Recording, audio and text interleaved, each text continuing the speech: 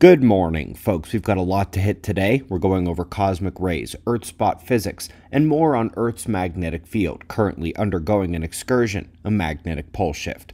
But we're starting, as always, with the last 24 hours on our star, and we find things were mostly quiet. We took a small M class solar flare this morning to break the quiet, but it was impulsive and not aimed at Earth. No other flares or eruptions occurred in the Earth facing position, so let's take a quick closer look at the items of note in space weather, starting with the flare. That little M class event is at the sunspots beginning to depart our view to the right, but my focus is about to shift to the left side where a growing group of umbral cores is spinning in. We'll have eyes open there. Up next, we're going out to space where the vacuum emptiness is actually a sea of cosmic rays. They studied the super high energies of cosmic rays in the study and found that they get some of those extreme energy levels via magnetic turbulence. This occurs around stars, galactic cores, and throughout the galactic disks. It is a magnetic universe after all.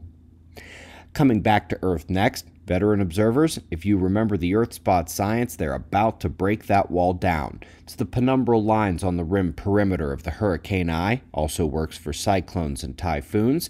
Their first attempt here is to analyze with temperature, pressure, and wind. It may be a while before they electromagnetically tie these to sunspot penumbra. Lastly, folks, we mentioned yesterday that the new model of the magnetic field is out. The 2025 update to the model data is in there, but it has not yet been applied to the graphic interactive or the annual report found out yesterday. That report may not come out until next month, so we had some consolation prizes yesterday.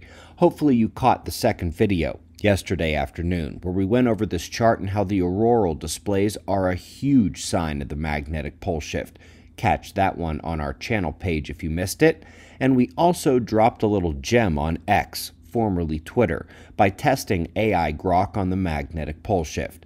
I asked it to make a well cited argument for the concern brought by a geomagnetic excursion, and it did quite well.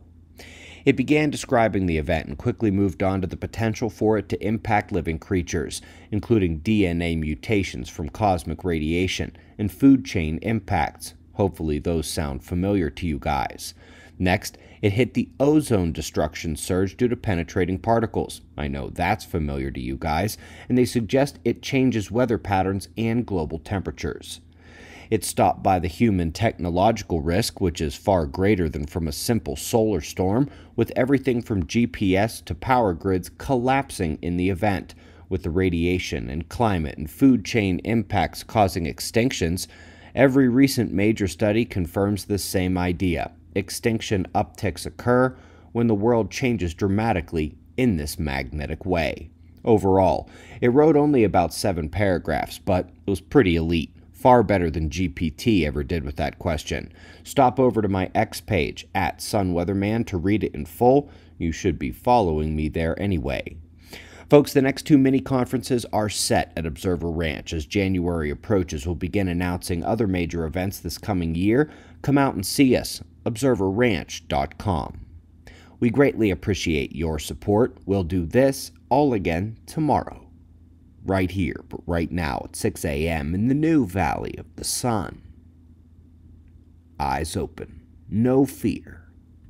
Be safe, everyone.